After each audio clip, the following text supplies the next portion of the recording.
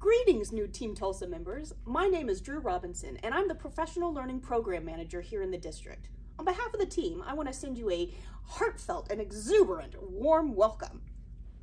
Welcome! All right, so you're going to click the button below to get started on your coursework, and I can't wait to work with you all over the upcoming year.